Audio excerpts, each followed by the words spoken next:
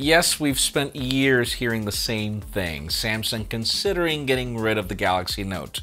But this time I think they're actually serious. As yes, it looks like the end of the Galaxy Note is near because Samsung has something bigger planned for 2021, or should I say larger. There's a full review of the Galaxy Z Fold 2 and it looks like really, really good. But yeah, I know, where did they get the phone? And we have some very interesting features leaked for the iPhone 12 Pro line that uh, they, they just have to happen. I'm Jaime Rivera. It's finally time, and the only thing that I could think of is that scene in the Galaxy Unpacked where the guy was like, Mystic Bronze. This is Pocket Pocketnow Daily, sponsored by MediaTek. Stick around to learn why you should pick MediaTek for your next purchase.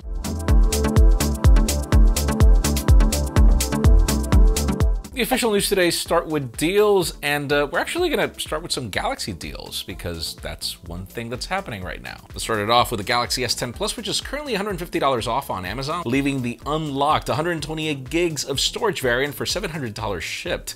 If you want more storage, you can go 512. That's also $150 off, which pretty much will cost you 950 bucks, and you'll get a headphone jack. And then the regular S10 is also getting the same discounts on more variants. The Razer Blade Stealth 13 is also $300 off, leaving it at $1,500 shipped for the Intel Core i7, 16 gigs of RAM, 512 gigs of storage.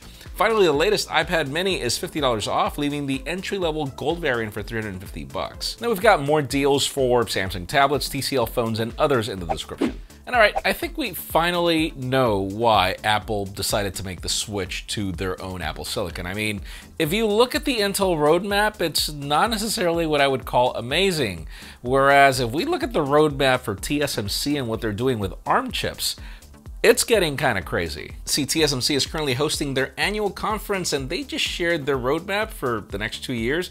I mean, the company will employ 8,000 new employees to manufacture 3 nanometer chips, which should hit the market at the end of 2022. And they also have been working on the 2 nanometer process, which will be built on the gate all around technology rather than the FinFET solution that we've seen for years that will actually make part for the 3 nanometer process. Now, we're not exactly sure when we're going to get those two nanometers, but the thing about it is one of the major rumors for this year is that the next iPhones, the next Macs are coming with 5 nanometer on the A whatever Bionic we're getting this year, so stay tuned. It's going to get really interesting and Intel. I mean, come on guys. And since we're talking Apple, let's move the spotlight over to everything that's happening between Cupertino, and Epic Games. We do know that the company gave Epic Games 14 days to figure themselves out, and it keeps just developing in very interesting ways. So if you remember, Apple gave Epic Games 14 days to remove their direct payment option from Fortnite, and those 14 days are three days away.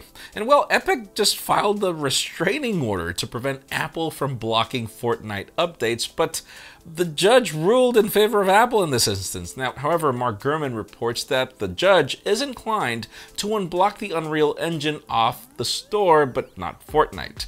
Which kind of makes sense. I mean, it's only Fortnite that's the problem. And of course, incline doesn't necessarily mean that that's the decision made. It just means that they're leaning more towards the option at the moment. In the meantime, Apple is ready to welcome Fortnite back to the App Store so long as they remove the direct payment option.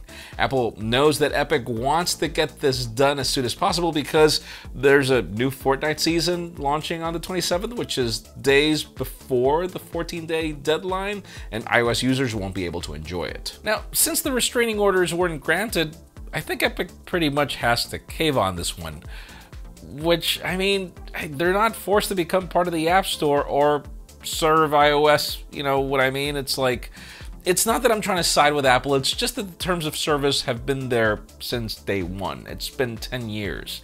So I didn't think they were going to win either. I wish they would, but oh well. Now let's continue talking Apple, but for something really interesting, let's discuss iPhone 12.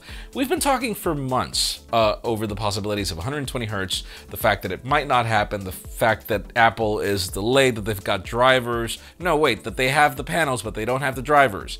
Now it seems that, you know, we it might still happen. Today we've got some new screenshots from Jon Prosser that give us some hope, I guess. The screenshots show the toggles in the setting screens to enable high refresh rate and enable adaptive refresh rate, and they clearly show that this is 120 Hz.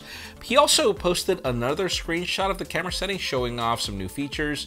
There are different toggles, including enable LiDAR from the camera, enable video modes, which include 4K at 120 frames per second, 4K at 240 frames per second for slow-mo, and then there's another toggle for an enhanced night mode, advanced noise reduction, bit depth video, and zoom capabilities. He also mentioned that the 120Hz is for the 6.7 inch iPhone 12 Pro, which I assume that would be the max. And again, this doesn't necessarily mean it's going to happen. Uh, it could also be, and judging by the design of that menu, it looks like if that's part of the accessibility settings, we'll see.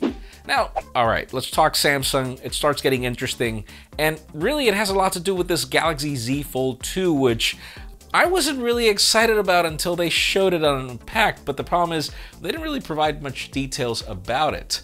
We get them today, but not from Samsung. See, a Chinese channel just posted a full four minute review of the phone, and we can't really understand what they're saying. Obviously, you can't translate it, but this review gives us pictures and video shots of this phone from every possible angle. We get to see the device fully working, the 120 Hz display, the outer display, and more. They provide some audio tests, gaming tests, and they also compared it to the original Fold, at least from the design standpoint. The only thing we're missing is camera samples, even if they showed us the camera working, but we do expect it to perform like the Galaxy Note 20 in this department. Stay tuned, we're close to the official launch. It should be happening anytime soon. And folks, before we get to the hottest news, in addition to today's question, here's a word from today's sponsor, MediaTek. Did you know that its technology powers the popular Sony WF-1000X Mark IIIs? These were the first true wireless earbuds to feature true active noise cancellation. 24-bit audio signal processing also makes these one of my favorites for sound quality. We have a battery life of up to 24 hours with the carrying case and full integration at a tap with the Google Assistant and even Amazon's Alexa Assistant.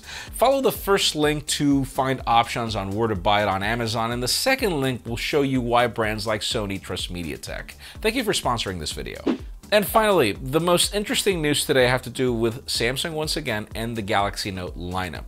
For many years, we've heard the possibility of Samsung ditching the Note, for them to just over-glorify the Galaxy S, and we've actually even seen how the company has ended up glorifying the Galaxy S, even if we still get a Note that's sort of the same thing, only with an S Pen and a couple of extra features.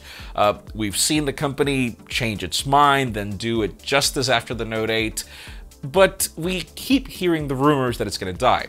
Today, we sort of have a confirmation, sort of, but we get to hear why. According to a new report from The Elec, we will be getting three Galaxy S21 models next year. The top-end variant will bring an S Pen. According to this report, the S21 is codenamed Unbound, and it has three different project names, M1, N2, and O3, with O3 being the Ultra variant that will allegedly bring the S Pen.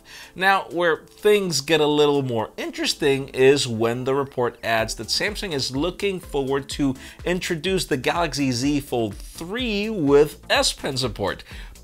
I told you, it was going to get bigger and larger. This most likely means that the Z Fold 3 will serve as Samsung's fall flagship, which will replace the Note lineup since the S21 will already bring the S Pen features. It still isn't explicitly clear if Samsung is getting rid of the Note moniker. The future for it remains uncertain, but I would like to know what you guys think in the comments down below. Think this is a good idea, S21 with an S Pen? Because I think it is. I think it's great that we're going to finally get an early, meaning a full-powered, latest Snapdragon Galaxy S with an S Pen, and you can choose the Ultra or you just, you don't have to choose it if you don't want to. And then, my God, finally, finally, a foldable with an S Pen. That would be fantastic. For me, the tablet form factor is the best one for the S Pen, in my opinion, but we would love to know what you think in the comments down below. Friends, again, if you want to get the news earlier, follow us on PocketNow.com and subscribe to our channel for more videos like this one. Also, follow us on social medias. Our extended coverage happens on Instagram. Follow me on my personal handles to see me. Oh my god. I don't know what to say about mid-rangers anymore, but please give this video a thumbs up if you like what you saw. I'm Jaime Rivera. Thanks so much for watching. We'll see you tomorrow.